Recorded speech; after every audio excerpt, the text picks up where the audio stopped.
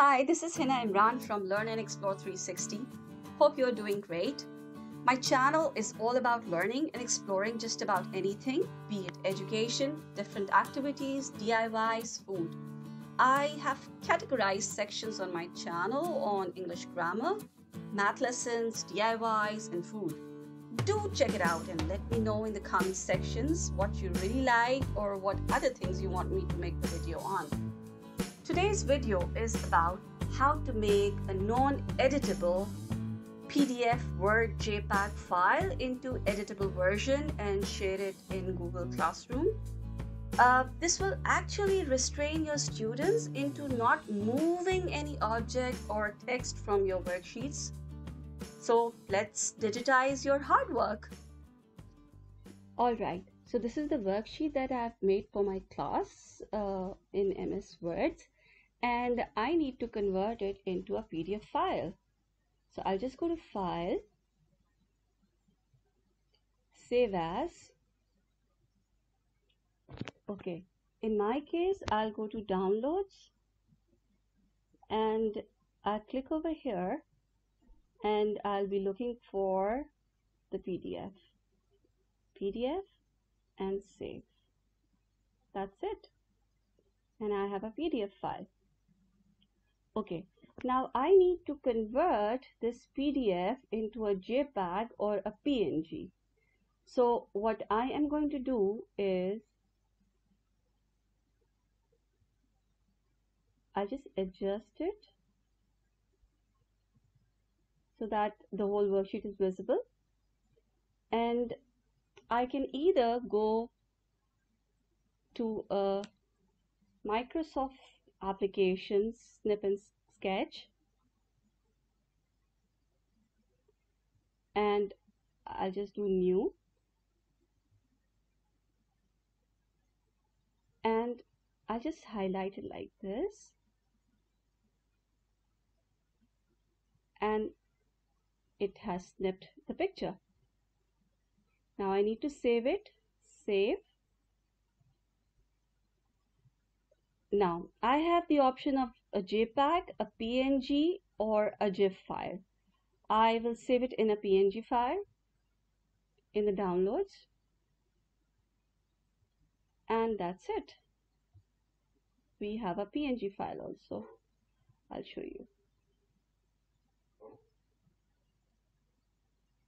here you go all right i personally don't use snip and sketch because sometimes the worksheet comes out a little bit blurry.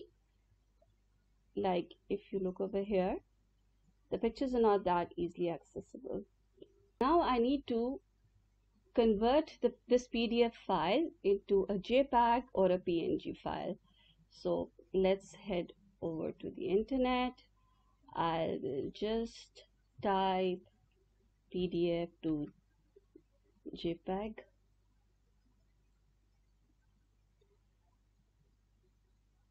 I will open. This option add files.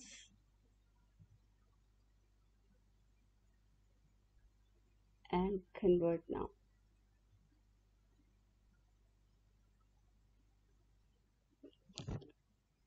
Download.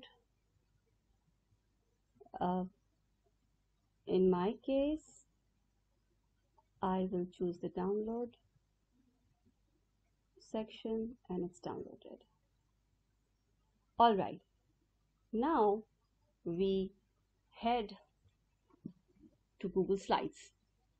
You see these nine dots? I will click over here and I will scroll down and slides are here. So in our case, I would like to take a blank sheet. Now, I don't need the themes, so I'll just click cross. I don't need these boxes. I will just press delete. I will hover over here, click and delete hover, click, delete. All right, so we have the new presentation ready, but it's in landscape mode. So in order to get it in portrait mode or in A4 size, we need to go to File. I'll go to Page Setup, Custom, and we need 8.5. Sorry, I need to change this. All right. 8.5 by 11. Apply. So now we have the portrait mode in A4 size. And we need to put the picture we had converted, the worksheet we had converted into JPEG. And I'll be putting it as a background. So I need to go to background, choose an image, browse, and I'll be taking this JPEG, open,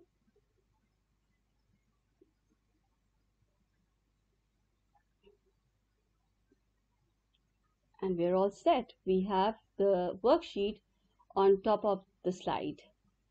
Now, to be easily able to see it, I will go to View, Zoom, 100. Okay. Now, when I'm moving my cursor and uh, clicking it, I'm unable to move anything from the worksheet this is what we are targeting for because when we are giving it to the students especially if they are smaller students uh, there may be accidents where they might be able to change the boxes or the text boxes uh, you know and uh, make a mess. So we need to lock it for them. So now we need to put text boxes. And for that I will go text box. And I'll just drag and fix it here so the children can write their names. I can change font uh, whichever font I like however big or small I like.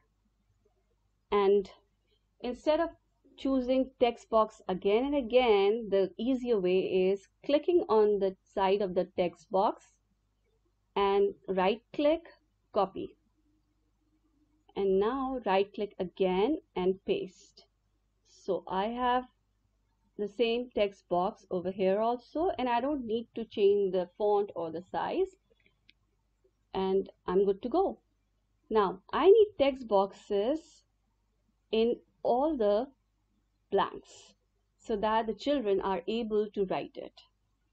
So um, instead of choosing text box again and again and the font size, I'm just going to right click, paste. I have the same text box over here and I can just now resize it to however big I want the blanks and fix it over here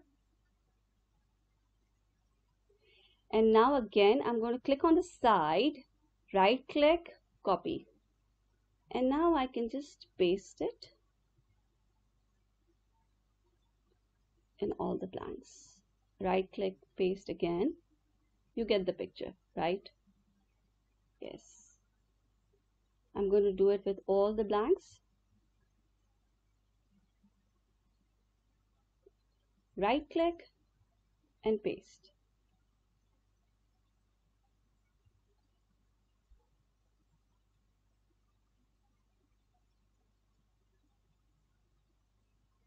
All right, so now what's the best thing that has happened is now we have all the text boxes in their required areas and the students now can fill in their answers without moving or erasing, deleting anything from the worksheet.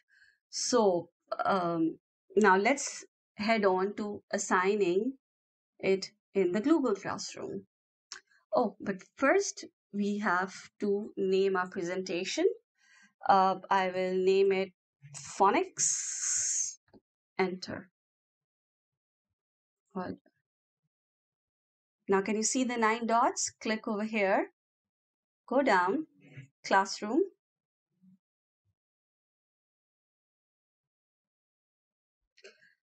This is just a dummy classroom that I have made.